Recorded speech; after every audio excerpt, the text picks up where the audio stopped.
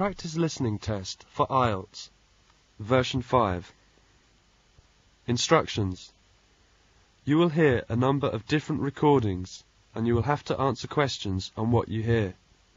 There will be time for you to read the instructions and questions and you will have a chance to check your work. All the recordings will be played only once. The test is in four sections. Write all your answers in the listening question booklet.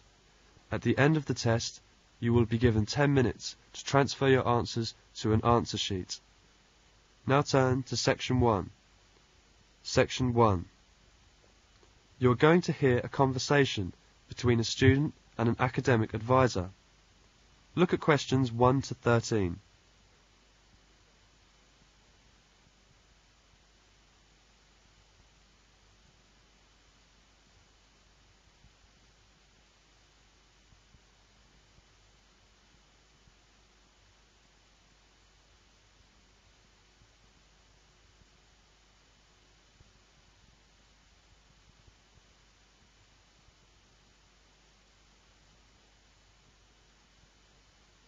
Now listen to the conversation and answer questions 1 to 13.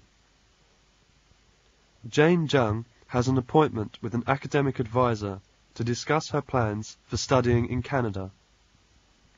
Hello there, you must be Jane. Please come in. My name is Mrs. Dunstan. Hello, Mrs. Dunstan. Pleased to meet you. All right, now, let's see. Now, you're interested in attending university in Canada, is that right? Yes, and I have a lot of questions to ask you. Okay, but before I begin to answer your questions, I need to ask you a few questions first. Mm, Now, your major is... Engineering, mechanical engineering. Right, and where did you graduate? I graduated from the Beijing Institute of Machinery in July 1998. I completed my bachelor's degree. Okay, now, I'm assuming you'll want to continue studying in that field, am I right? Actually, I'd prefer to do an MBA if possible. But if I have no other choice, then I'll continue in mechanical engineering. Okay, now, are you familiar with the requirements for an MBA degree? Yes, I think I need to do well on the GMAT, and I'll definitely need the TOEFL or IELTS, right? That's right, you'll need at least 600 on the TOEFL or 6.5 on IELTS. In addition, you need to have completed a bachelor's degree too. Did you take the GMAT yet? No, but I plan to take it in August. The requirements for a master's degree in engineering are a little different. You'll need to take the GRE and of course the TOEFL or IELTS. I see. And when do I start to apply? The best time to start the application process is in November or December of the year prior to your intended year of study. Application forms are usually available in September or October. Which schools in Canada offer the MBA degree? Of the approximately 50 universities in Canada, 20 offer an MBA. Here's a small booklet summarizing Canadian university programs. You'll find all the information on page 22. Great. Thanks. And how about tuition and scholarships? Tuition for MBA programs has been steadily increasing. Some universities now charge the full tuition, meaning that there is no government subsidy. Those universities cost about $10,000 per year, and it's a two-year program. Other universities are still government subsidized, so the tuition is only about $4,500 per year. In terms of scholarships, usually the top five students entering the MBA program are given a generous scholarship.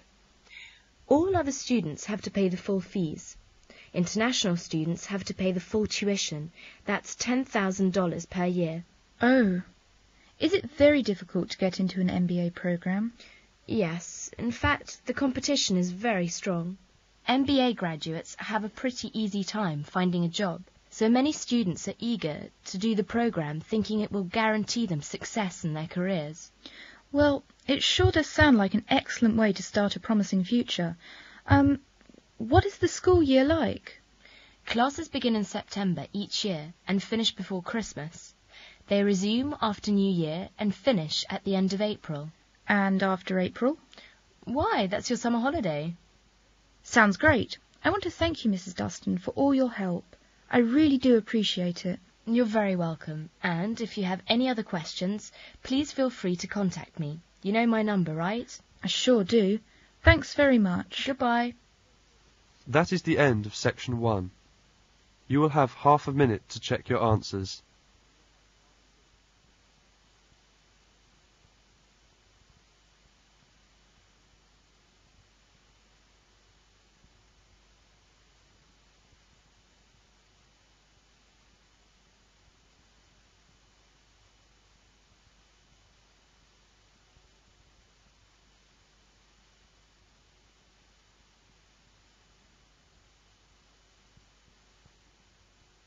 Now turn to section 2.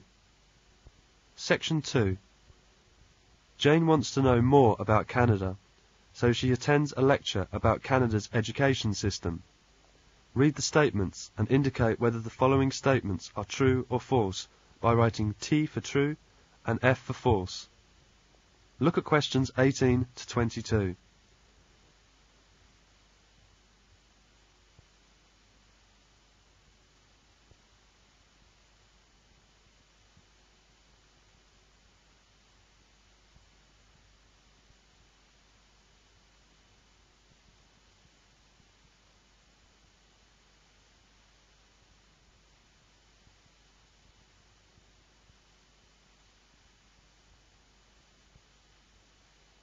Now listen to the lecture and answer questions 18 to 22. Good morning. Today I'd like to continue our series, Talks about Canada. This morning I will talk about Canada's education system. In Canada, students have many opportunities for education. Canadian children start attending kindergarten at age 5. From ages 6 to 12, Children study in grades 1 to 6 at elementary school. When students are approximately 13 and 14 years old, they attend grades 7 and 8 in junior high school.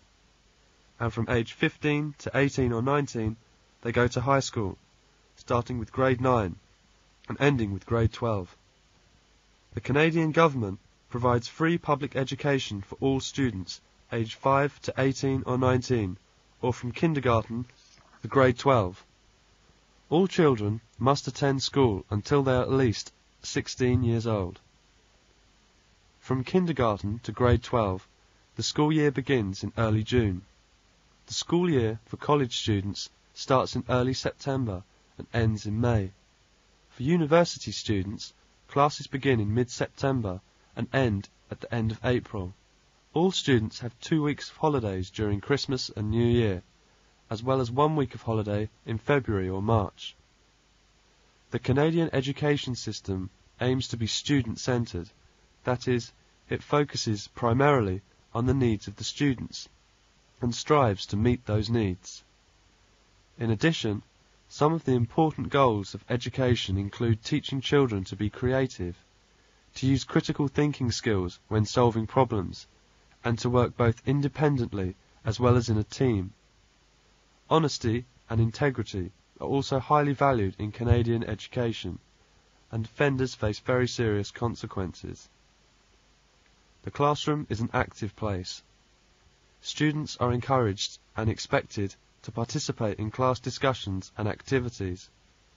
The teacher plans his or her lessons so that each student can learn. This sometimes requires much adaptation in teaching methodology as the teacher endeavours to, to teach students in the way they learn best. From kindergarten to grade 6, students follow the same basic curriculum. Starting in grade 7, students must study a common curriculum, but they have the portion of choosing a few, various elective courses, according to their likes and interests. In high school, about 60% of the curriculum are mandatory which means that all students must take the same courses. This also means that students are given the freedom to choose 40% of their courses. The courses chosen by each student will vary greatly and will depend on the student's intended career goals. After completing high school, many students will continue their education at college or university. This is called post-secondary education, and although it's subsidised by the Canadian government, students must pay tuition fees. There is no national entrance examination for college and university admission. Students are admitted to college or university based on their high school grades. Canadian students have many chances to enter university, even if they don't do well in their high school studies. For example, a student who does not finish grade 12 can still be admitted to university as a mature student when they are at least 23 years old or older. And a student whose high school grades are too low for university can first attend college and then apply later on for university entrance. In Canada, colleges are very different academic institutions than universities. At college, students take job-related courses they receive a diploma after two or three years of study, and they learn very practical skills. At university, students take a broad range of courses. They receive a bachelor's degree after four years of study, and they learn theoretical knowledge and new ways of thinking. Canada's focus on student-centred education means that students can change their major as well as transfer to a different college or university if they want to. In fact, it is pretty much expected that most students will change their major at least once during their post-secondary education. That's the end of section 2. Now you will have half a minute to check your answers.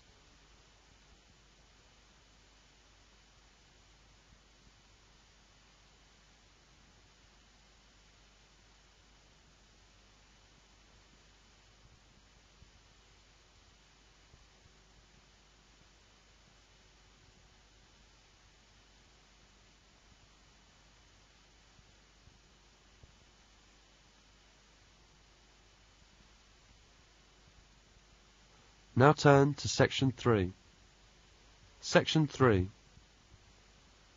You will hear a job interview.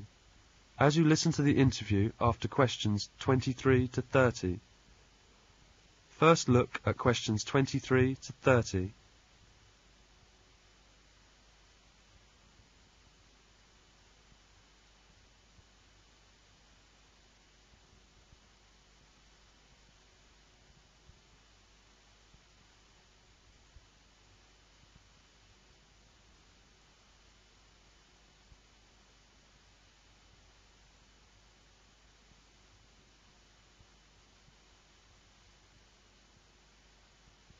Now listen to the interview and answer questions 23 to 30.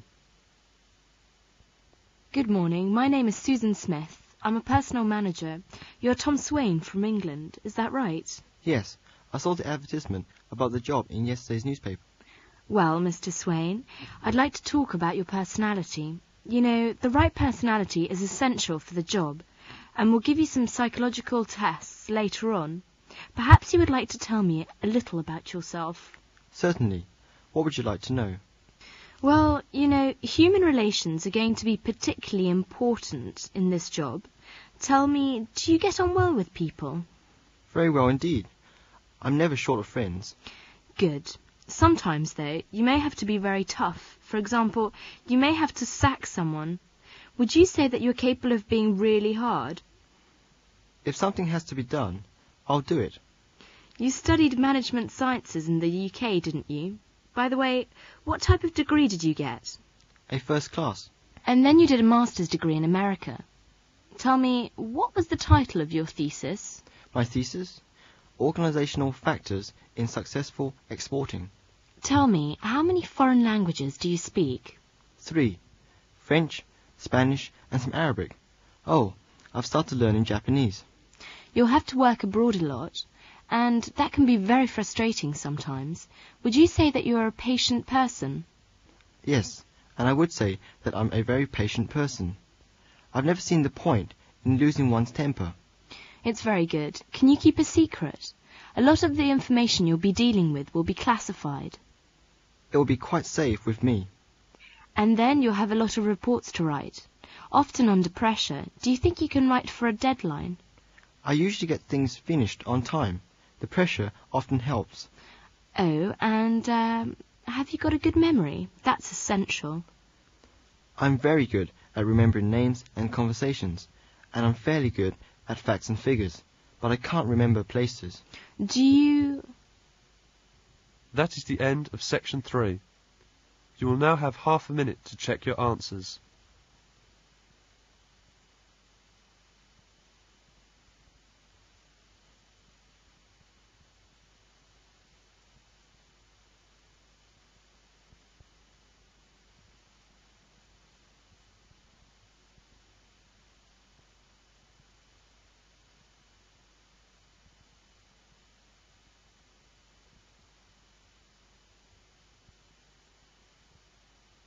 Now turn to section 4. Section 4. You are going to listen to a lecture about animals. Look at questions 31 to 42.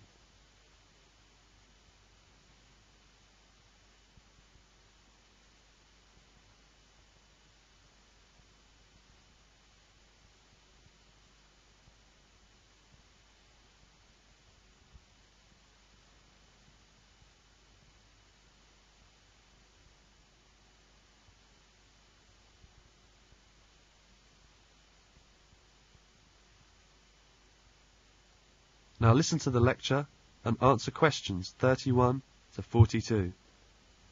In our world of living things, we have plants, animals, and people. Plants belong to a group called the plant kingdom, while animals and people belong to the animal kingdom. Look around you and you will see many different types of animals. Some animals are tiny, while others are very large. Some animals are soft and long, while others are hard and rounded. Different types of animals, which are alike in certain ways, are put into groups. Let us find out how animals are put into groups. We can put animals into groups by studying their behavior. We want to know how their bodies work, how they live, how they produce their young, how they find their food, what they eat, how long they live, and so on. We also have to examine the different parts of their bodies. When we examine them, here are a few questions we must ask ourselves. Do they have scales, feathers, or fur on their bodies? How many legs do they have? How many wings are there? Are there fins? But the first and most important question is, do the animals have backbones or not? All animals with backbones are put into one big group called vertebrates. All animals without backbones go into another group called invertebrates. Invertebrates are animals which do not have backbones or other bones inside their bodies. Some have soft bodies and some have hard coverings which protect their bodies. Vertebrates are animals with backbones and bones inside their bodies. The bones help to support their bodies. There are five main groups of vertebrates the fish, the amphibians, the reptiles, the birds, and the mammals. Fish, amphibians, and reptiles are known as cold-blooded vertebrates. The blood of a warm-blooded vertebrate remains around the same temperature both on warm and cold days. Fish live in water and have fins which help them to swim. The body of a fish is made up of the head, the trunk, and the tail. The tail ends in a tail fin. There are many different kinds of fish, and they are of many different shapes and colours. Some fish are long and thin, while others are flat and rounded. Most fish have bodies which are broad at the trunk region and narrow towards the head and tail. Frogs, toads, newts, and salamanders are amphibians. All amphibians have thin skins which are usually wet and slimy. They have two pairs of legs. The toes of most amphibians have webs of skin between them. This allows them to swim well in water. The body of a frog or a toad is made up of two parts, head and the trunk. There is no neck or tail. Adult newts and salamanders have tails. Frogs and toads are important to human beings as they feed on insects. Some of these insects may be harmful to us. Toads produce poison from the skin for protection. Wash your hands after touching a toad. Reptiles live mainly on land, but some live in water. They breathe through lungs and have dry, scaly skins. Reptiles which live in water come to the water surface to breathe. Reptiles lay eggs with hard shells. Lizards, snakes, and tortoises are reptiles which live mainly on land, while crocodiles, alligators, and turtles live in water. The body of a reptile, such as the crocodile and lizard, is made up of the head, the trunk, and the tail. Most reptiles do not have necks. Many reptiles have four legs with toes. Turtles and tortoises have hard shells which protect their bodies.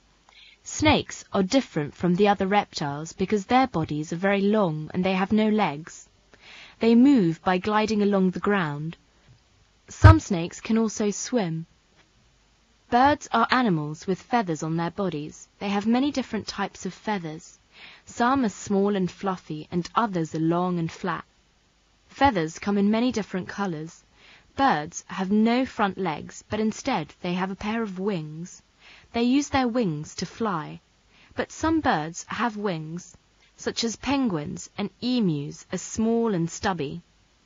These birds cannot fly. The body of a bird is made up of a head, a neck, a trunk, and a tail. The mouth of a bird is in the form of a hard bill or beak. The shape of the bill depends on the type of food the bird eats. Some birds, such as ducks, have flat bills for sieving small bits of food from the mud. Other birds, such as eagles, have sharp, pointed bills for catching small animals and tearing fish. Birds which search for frogs and worms in the mud, such as storks and flamingos, have long, pointed bills. Most mammals live on land, but some, such as whales and dolphins, live in water. Some mammals, such as bats, have wings and can fly. Other mammals, such as moles and rabbits, burrow into the ground and live there. Mammals have hair on their bodies. Bears and dogs have very thick hair, which is called fur. Human beings have little hair on most parts of their bodies, but a lot on their heads. All mammals breathe through lungs. Even those which live in water have to come to the surface of the water to breathe. The young mammals grow in the bodies of their mothers. When they are old enough, they come out of their mothers' bodies. When they come out, they are said to be born. The mother takes care of her newborn baby and feeds it with milk which is formed in her body. When the baby is older, he takes care of himself. That's the end of section four. You now have half a minute to check your answers.